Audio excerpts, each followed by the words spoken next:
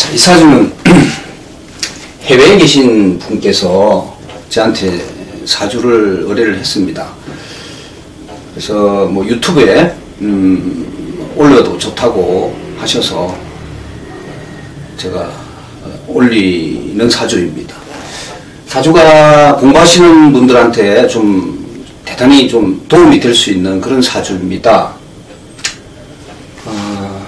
아, 굉장히 좀 사주가 이분이 이제 사주 공부를 좀 했어요. 해서 에, 유튜브를 제 유튜브를 해외에서 이제 좀 보고 에, 자기가 공부를 했는데 도저히 이게 자기가 자기 사주를 풀어내기가 좀 힘들었던 모양입니다. 그래서 저한테 의뢰를 해서 에, 제가 사주를 풀어볼까 합니다.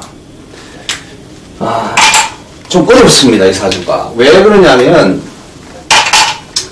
자, 경금이 비급제만 하나 있고, 지지의 통근처가 하나도 없어요. 이걸 갖다 우리가 사주용어로 무기한다 그래요.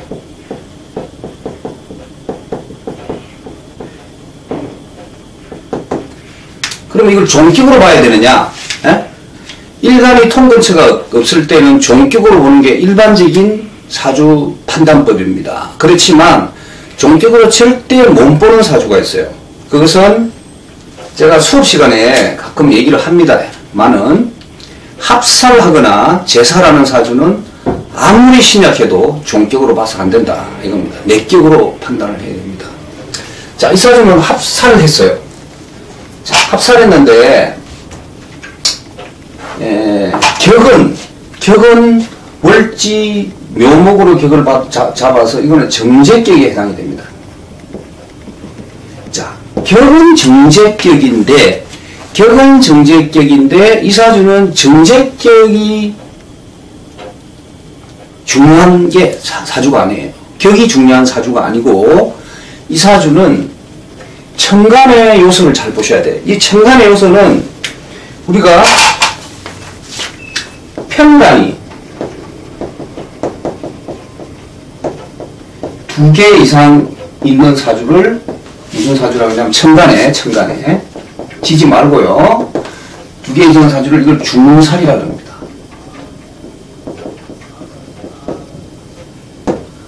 그래서 이 중살은 뭐에, 뭐에 준해서 판단한다? 관살 혼잡에 준해서 판단한다.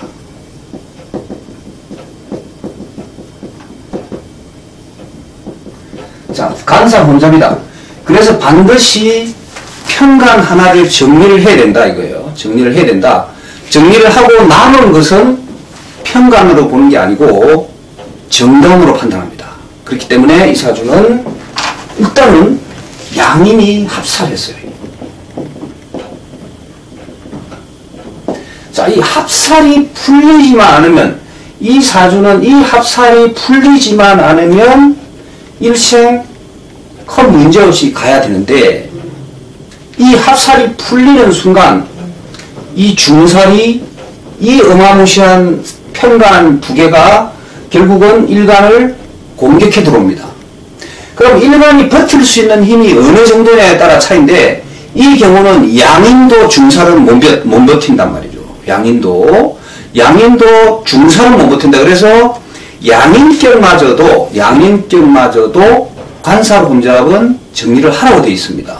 음. 그렇기 때문에 이 사주는 이 합살이 풀리지 않아야 된다. 그럼 합살이 언제 풀리느냐 이거 언제 풀리느냐. 자, 병, 병신 합인데 이게 합이잖아요. 합은 항상 합은 1대2가 될 수가 없어요. 합은 1대1이어야 돼요. 어.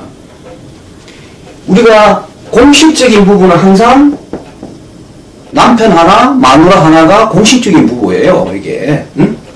그건 나머지는 합으로 볼 수가 없는 거예요. 1대2가 합이 안 된다 이거예요. 그래서 이 합을, 합이 풀릴라 그러면 합이 풀릴, 어떤 사주는 합이 풀려서 좋은 사주가 있고 어떤 사주는 합이 풀려서 나쁜 사주가 있습니다. 이 사주는 합이 풀리면 안 되는 사주예요. 합이 풀려서 좋은 사주는 정관이 묶여 있다든가 할 때는 정관이 풀려져야지만이 좋은 거죠. 그렇죠?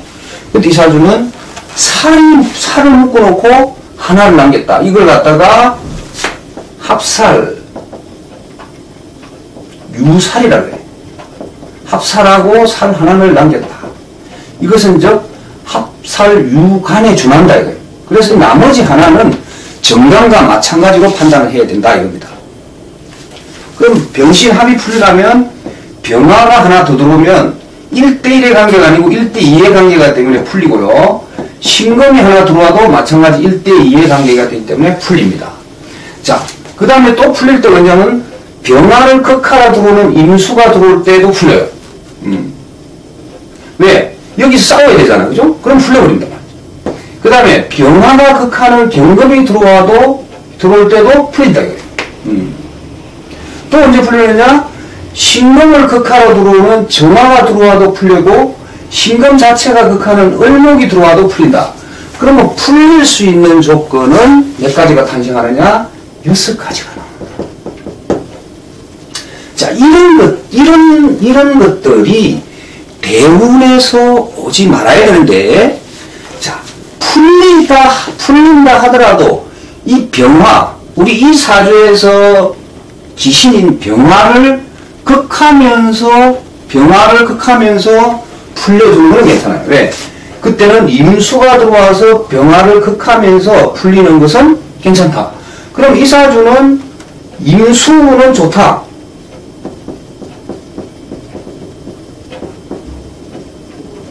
임수는 좋은 일이고 풀린다 하더라도 나머지는 다 나쁜 놈입니다. 나머지는 다 나쁜 놈입니다. 음. 자, 그렇다면 이분의 이제 인생 울로를 보면 자, 이 개수는 그럼 어떻게 볼 것이냐? 개수를 이 개수도 안 좋거든요. 이유는 뭐냐? 이게 남아있는 평간을 이게 지금 하나를 묶어놔서 합산하고 하나를 남겼어요. 둘 다 날려버리면 안 된다. 둘 다. 하나 남긴 것을 살려놔야 돼, 이거는. 근데 임수는 와가지고 둘 다 날리는 것 같지만 합을 풀지만 둘 중에 하나만 날아, 풀렸을 때는 하나만 날아갑니다. 그러나 이 개수가 들어왔을 때는 이거는 풀, 이거는 묶어놓고 이거마저 날리는 경우가 초래한다. 그래서 이 시기에도 좋지 않은 시기가 됩니다. 그래서 이때도 이 양반이 예, 수술을 하게 되는 결과를 초래합니다. 정말하자면 정강을 건드린 이 사주는 정강을 합이 풀리면 어떻게 되냐?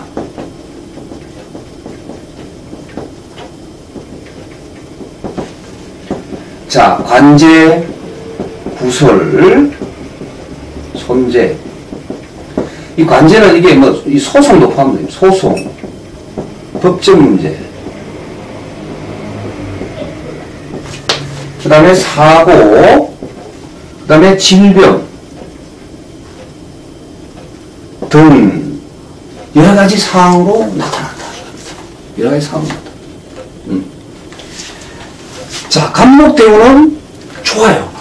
간목대우 좋습니다. 자, 간목대우는 제, 이걸 재생산하면 된, 재생산하니까 좋다고 보면 안 돼요. 이 사주는 이 합이 안 풀리, 안 풀리기 때문에 좋은 거예요. 이 합이 안 풀리기. 예. 안 풀리기 때문에 이 띠운은 좋다 이거예요. 그러나 오운은 좋지 않습니다. 지금 갑대운은 좋아요. 갑대운은 좋은데 오대운 이 사주는 에, 지지로는 33살, 43살, 53살 뭐 이런 식으로 흘러갑니다. 뭐 딱 떨어지지는 않지만 저는 천간지지로 5년을 나눠서 보기는 하는데 딱이 이 나이다 딱 이렇게 보, 보지는 않습니다만 어느 얼추 그 나이에 대운에서는 흘러간다. 자, 왜냐하면 이, 이, 이 운은 뭐냐면 평간이 더 강해지는 거예요. 일간은 신약한데. 그래서 신약한데 평간이 더 강해지면 이거 여기서 병화는 정강구실을 한다 하지만 정강구실을 한다 하지만 경금, 신금이 정강도 감당하기 힘들어요. 저 경금이, 일간이. 이유는 뭐냐? 자기 홀, 홀로 외롭게 있다 이거예요. 어디 하나 통근처가 하나 없다 이거예요. 그렇기 때문에 이런 거는 좋지가 않다. 자, 을대운 안 좋습니다. 지금 여기서 얘기했던 이, 이 을목이 들어와서 합이 풀려버려요. 합이 풀리는 순간 이 변화 두 개가 돌변해서 이거는 정강으로 그냥 남아있는 게 아니고 합이 풀리면은 평간으로 돌변해서 일간을 공격하기 시작합니다. 그래서 이때는 아주 안 좋은 운에 들어가요. 자, 미토는, 미토는 이게 천을기인이거든요. 기인. 천을기인인데 미토가 들어와서 오미 합을 해요. 천을기인이 일간과 합을 하는 것은 좋은 운이에요. 천을기인이. 나를 도우려 하는 운이 일간과 합을 해요. 여기서 물론 묘미 합도 하지만 일간하고도 합을 합니다. 어찌됐든 내 거다. 즉 말하자면 일지궁, 아, 일간하고 합이 일지궁과 합을 했다는 건 일간 거다 이거예요. 그렇기 때문에 이런 운은 기인이 들어와서 나를 도우는 행복이다. 예, 도운다. 자, 병화 아주 안 좋습니다. 지금 병화가 합이 풀린 데다가 병화가 또 들어왔어. 그러면 여기서 합이 풀려버리면 어떻게 되냐면 중살 중에서도 편간이, 편간이 세 개예요. 편간이 세 개가 힘없는 경금을 공격해, 공격하기 시작하니까 이 얼마나 또 힘드냐 이거예요. 이 사주는 종살격으로 보면 안 돼요. 종살격으로 보면 이런 운들이 아주 좋았어야 돼. 예? 이런 운들이 좋았어야 돼요. 다. 그런데 이 사람의 운로는, 이분의 운로는 그렇지 못합니다. 병자만 들어오면 난리가 나. 그래서 합살사주, 제살사주는 절대로 종으로 보면 안, 안 되고 내격으로 보라는 이유가 바로 거기 있습니다. 음. 자, 신금이 들어왔는데, 어찌됐든 일지궁이 천신만오고 때 자기 걸록을 만났어요. 좋은 것 같지요. 참, 이때 힘 받았어. 이때 힘 받아가지고, 이때는 경금이 그동안에 힘없이 있다가, 이때는 힘을 받아가지고, 이때는 일을 벌린다 이거예요. 예?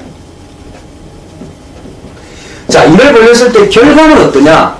결과는 좋지 않다 이거예요. 이유는 뭐냐면은, 자, 자, 이 신금이 들어와서 자수와 합을 하면서 이 합이 되면서 형사를 만들어 들어와요.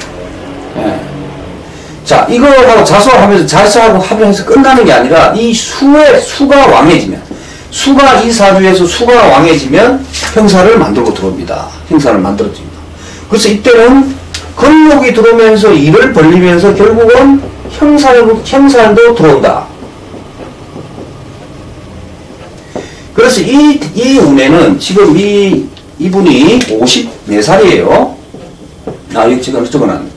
그리고 이 운에는 일을 벌리고 사업을 벌리고 막 하는데 항상 이 법적인 문제, 형살은 뭐냐면 형살이라는 것은 에, 법적인 문제, 가, 내가 내 마음 속에 감옥에 가 있는 것 같은 감옥에 가, 가는 사람도 있어요. 가는 사람도 있지만 감옥에 가 있는 것과 마찬가지의 느낌 그런 기분으로 가게 되는 게 행살입니다. 자, 그래서 이 시기도 천신망후 때 경금이 자기가 힘을 받아서 근록을 얻었지만 이 형살 작용에 의해 가지고 힘들게 올로가 흘러간다. 자, 그럼 아직 오지 않았는데 아직 오지 않았는데 58세가 되면 정화운이 또 들어와요. 정화운.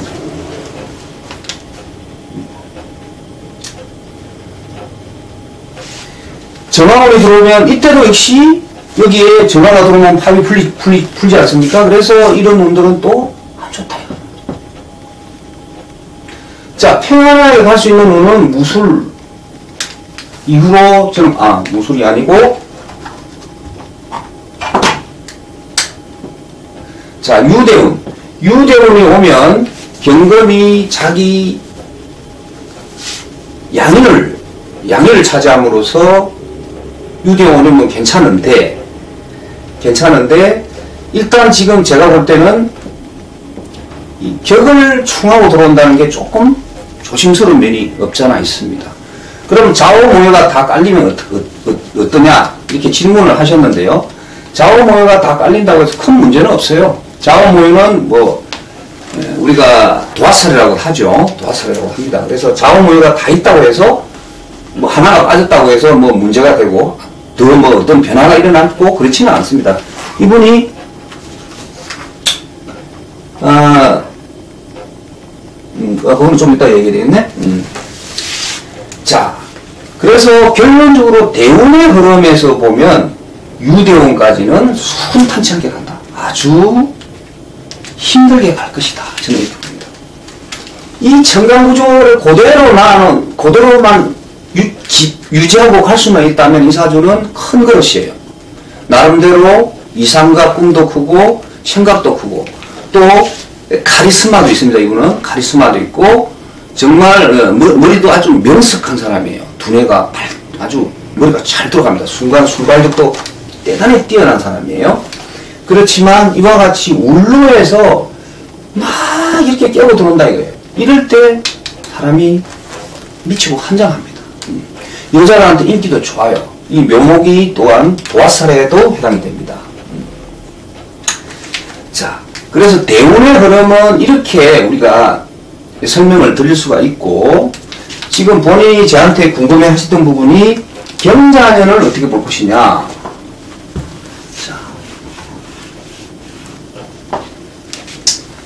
자, 경자년은 자, 좌, 일지군과 좌우충하고 들어옵니다. 이미 좌우충하고 있어요. 이미 좌우충하고 있는데 이 운은 또 청강구조에서 또 경금이 들어오면 또 풀리거든요. 합살이 합살이 풀리 풀리기는 한데 에, 좌우 자년은 저는 그렇게 나쁘다고 보지는 않, 않는 않는데 경자년 아, 저는 저, 저 별로 안 좋다고 봅니다. 왜냐하면 청감으로는 어차피 합사를 풀고 지지로는 이 오와 병화의 통건체를 건드리는 면은 있어요. 병, 병- 병화의 통건체를 건드리는 면은 있는데 이 자녀 형사를 또 만들고 들어왔다. 아, 그래서 경자년은 에, 이때는 관제 아까 말, 말한 형사를 형살이 들어오기 때문에 형살에 관련된 관제, 손재, 그 다음에 법적 문제, 소송, 사고 이런 면을 에, 조심을 해야 되겠다. 아, 이 병 때문에 병 때문에 이분이 이게 수술을 했다 그랬어요. 그러니까 이게 아까 얘기했던 건강 이상, 사고, 건강 이런 문제가 온다는 말입니다. 예. 자, 그래서 형사 형사 때문에 별로 좋지가 않고 이 경우에 에, 뭐 복부 수술을 하면 좌우충이 해소된다는 누가 얘기를 했는가 본데 그렇지는 않습니다. 그건 아니고요. 그 다음에 정류대운은 어떠냐? 정류대운도 힘든 시기인데 유대운은 그래도 제가 볼 때는 힘들지만은 그래도 넘어가는 시기다. 그 정대운, 정 말하자면은 63, 63살 이전까지는 조심해라. 저는 이렇게 얘기를 해드릴 수 있고, 2020년, 26년 병원년이 오면, 2026년 병원년 오면 역시 힘듭니다. 또다시 병화가 와서 또 합을 풀고, 또 지지 오화가 이 편간의 힘이 또 더 강해졌어요. 그래서 그때도 역시 예, 힘든 시기로 봐야 됩니다. 그 다음에 정류대운에 오면 지지에 좌우 모유 왕지가 모두 깔리면 어떤 일이 일어나느냐 그것은 뭐 특별한 일은 일어나지는 않습니다. 왕지가 다 깔렸다고 해서 그 자체가 뭐 특별한 일을 발생시킬 것 같지는 않고 예, 이제 그때는 이제 좀뭐 어, 여자 여자를 조심해야 되겠다. 여자들이 그때는 많이 예, 달라붙게 되는 도화가 워낙 강해져 들어오기 때문에 이런 경우가 있을 것이다 이렇게 볼 수 있습니다.